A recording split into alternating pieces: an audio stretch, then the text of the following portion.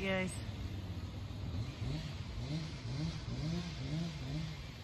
Dragon Watch Alert, which means rapture Watch Alert. We're clear here for now in North Carolina.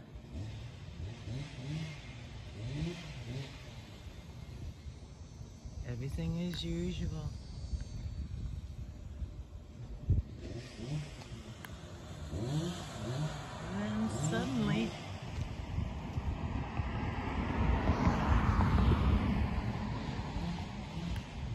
Love you all. Just giving you a little visual update. Love you all.